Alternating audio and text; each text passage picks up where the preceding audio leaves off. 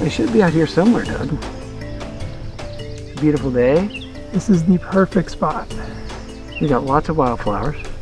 Now, can you tell me the names of those those beautiful little purple wildflowers? Yeah, the shooting stars. Oh, That's yeah. what these guys love to eat the most.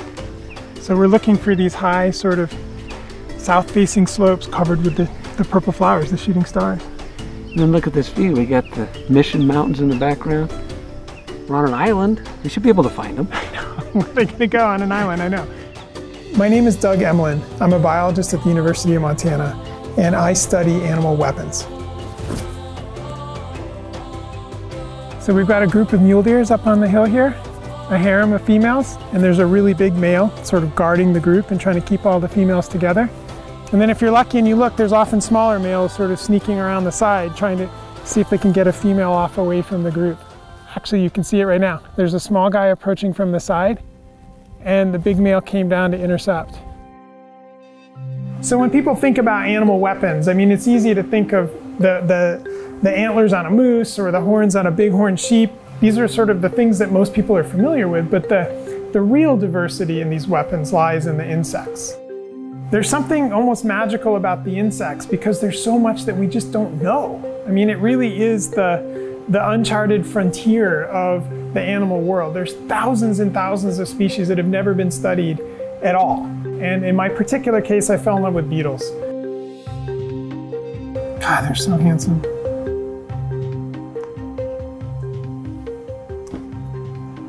So this is an atlas beetle, Chalcosoma atlas. It's a species that lives in the Philippines and parts of Thailand.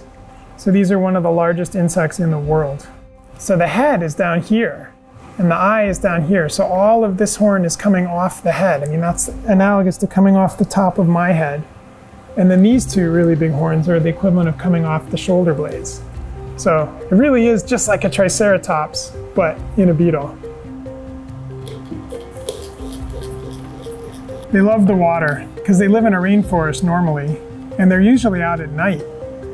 So they would fly to the sides of trees and feed on sap flows or wounds that leak sap on the side of a tree and do all the battles with rival males over those territories at night, often in the rain.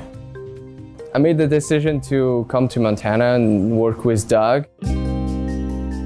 I study uh, stick insects, which is a um, group of insects for which most of the species look like sticks. That's what they are called stick insects, but there is way more diversity than people know about. This is the male thorny devil stick insect uh, from Papua New Guinea.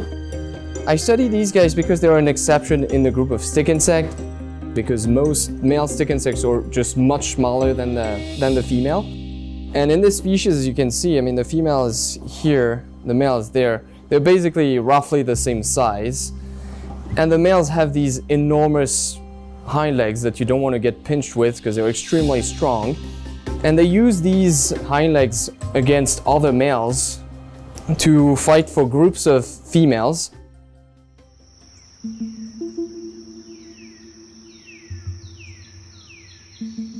Leaf insects are the exact opposite of um, species that have weapons.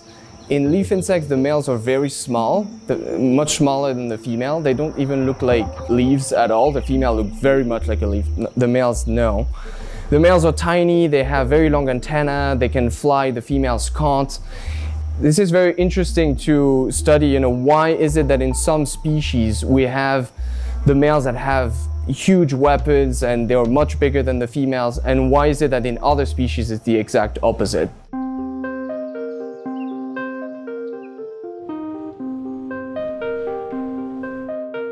So I'm at the Philip Wright Zoological Museum on the University of Montana campus and I love this place in part because of all the animal weapons. Most of the time the weapons that we study are smaller than this. They're the weapons on beetles. But it turns out that all the biology we've learned from insect and beetle weapons applies to these types of weapons too. So this is one of my favorite examples of animal weapons Montana style. So this is a, a rack from a large bull elk. A rack like this can weigh 40 or 50 pounds. And imagine a bull elk carrying this around on the top of his head. But what amazes me is that the beetle horns are even bigger. I mean, relative to the size of the male, the horns on that rhinoceros beetle are bigger than these are to the bull elk that carries them. Even in the largest bull elk, the antlers only weigh about 5% of the total body. These horns, on the other hand, are more like 30% of the body weight. So a third of the weight of that male is allocated into those weapons. So by any metric, these are huge. They're some of the largest animal weapons in the world.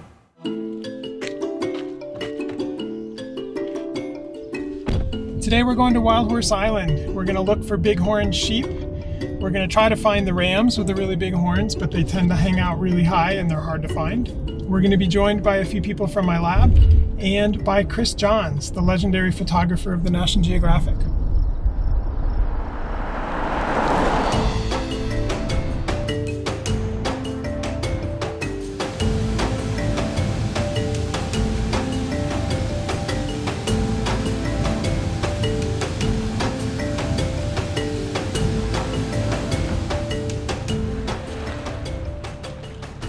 We put off on this side of the island.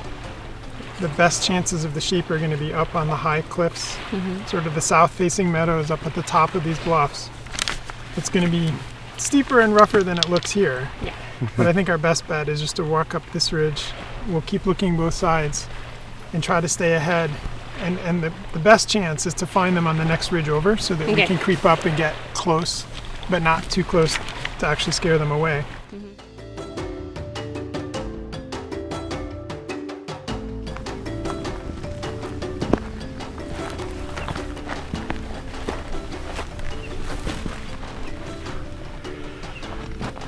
Well, where'd they go, Doug? They should be here. This is the perfect spot. If I was a bighorn sheep, I'd be hanging out there right now, eating some wildflowers, some grass. It's been really fun coming here today, you know, and it reminded me of so many trips where you get on this boat, you're not really quite sure where you're going. I'd never been to Wild Horse Island before. I'm with a renowned biologist, which is wonderful because then they can you can help me see and understand. and We then we start going over hill and dale, and we're looking for animals. Yeah. Uh, specifically bighorn sheep.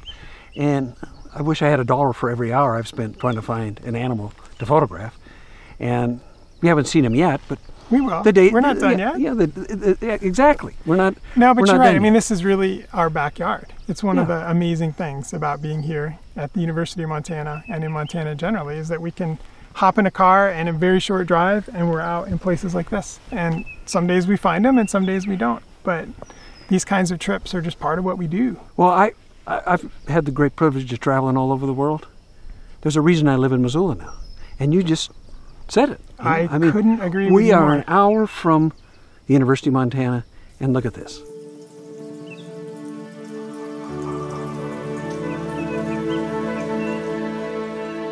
What I love, have always loved, is experiential learning Yeah.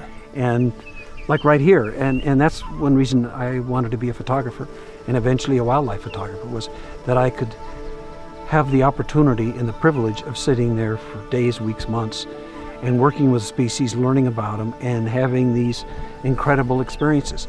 And th- that's the stuff that doesn't leave you. That's the foundation really of of i think uh, lifelong learning. Yeah.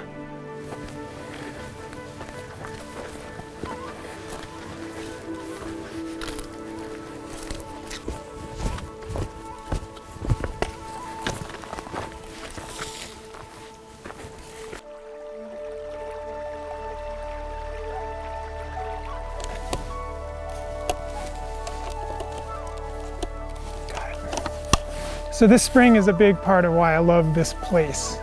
This is one of the only things around here that's got water all year. There's always water in the spring and it brings all kinds of animals through here. So I've had my trail camera looking at the spring for years now and I get mountain lions coming through to drink. I get elk, I get deer, foxes, skunk, bears. Sometimes we have families of bears. I've had as many as five bears drinking out of this spring at one time. But I also think it's interesting for the history of this place. Because there's standing water here in an area that can otherwise be so dry, especially in the summer, I'm sure that this would have been a really important place for early hunters.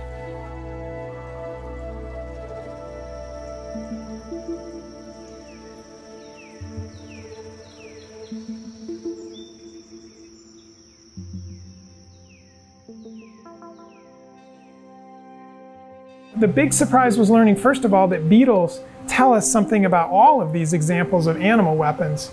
And then the really, really big surprise was realizing that not only can these weapons teach us about other kinds of animal weapons, they can teach us about ourselves. I mean, everybody knows that our own military technologies can get caught up in arms races, sort of swept into a cycle where nations are racing each other to invest in bigger and bigger and faster and deadlier weapons. The realization that the things that trigger the arms race, that cause the arms race to start, are exactly the same as animals, and that even once these arms races begin, the, the sequence of stages that they go through, so the way that the arms race unfolds, is exactly the same between animals and military technologies. And then even the things that bring about collapse, that cause state of the art weapons to no longer be valuable or cost effective, those are the same as animals. So the parallel here is that in these systems, sneaky beetles break the rules. Small males that can't afford to produce the really big weapons, they cheat. They don't even try to produce the big weapons. And they sneak up and sneak access to females on the sly. And that is directly, exactly analogous to the, to the national security problem that we face right now with cyber hacking. Because in that situation, you've got sneaky individuals that are worming into our technological systems and hacking into the software that we use. We could spend tens of billions of dollars on a piece of technology like a brand new Gerald Ford class aircraft carrier but it still depends on software to function. And so if people can hack in and break into those systems, they can undermine the effectiveness of our state-of-the-art weapons. And that is exactly what happens in animals.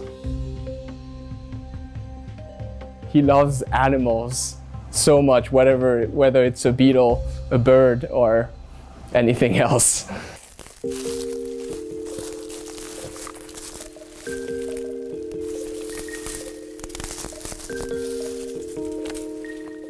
think that could be a bear's lair.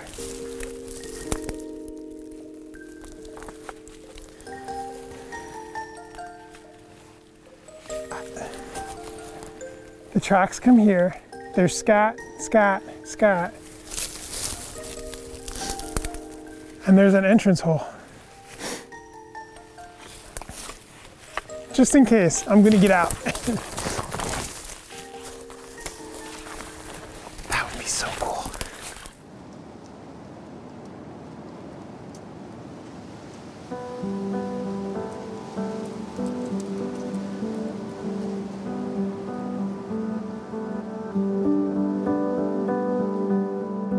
many of the pressing issues of our day hinge on an understanding of the science. It's difficult to imagine a time period when science was more critical to everything from our national security to our survival as a species. The way I think most people are thinking about science now is all connected to the coronavirus. How do we know how to treat coronavirus? How do we figure out where it came from? How do we understand how it's evolving? All these people talking about new strains and new variants. That's evolution. That's what I study. This is evolutionary biology. I fell in love with this place the moment I saw those mountains, and I've never looked back. I've worked in Africa, South America, Central America, all over the world. We work on beetles from Asia, but we live here. At the end of the day, this is the place I want to come back to.